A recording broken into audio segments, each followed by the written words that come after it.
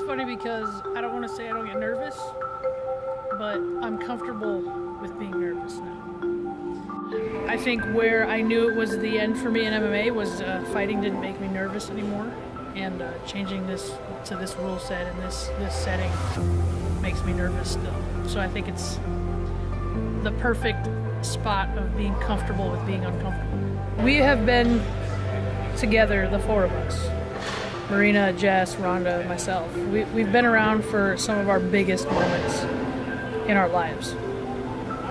Um, and that's in the ring and outside of the ring, you know? Um, and uh, I'll never forget. Um,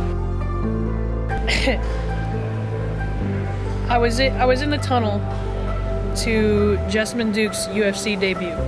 I'm in the tunnel because I was there to be one of her cornermen, and um, I remember hearing the, the music and I remember thinking out loud, man, like this is gonna sound way more depressing than it is, but it wasn't, it wasn't really meant to be the way it sounds. But I was like, man, sure wish I had someone to share and like call up about this moment. And Jess turns around and goes, Shayna, you have us.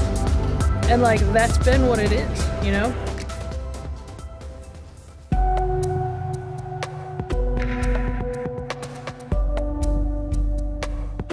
I'm a firm believer that if you just put the work in, it all comes out in the wash.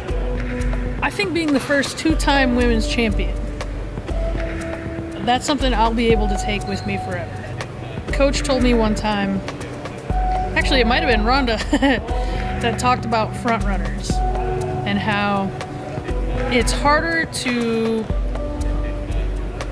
to lose and come back and get back to the top when you're at the top than to just be at the top front runners are people that are great when they're at the top. But what are really, really the athletes that people look for, that people should look for, are the ones that when they slip from the top, what happens?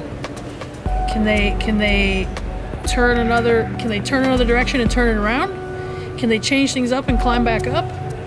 Or are they just gonna take off and move on to the next thing?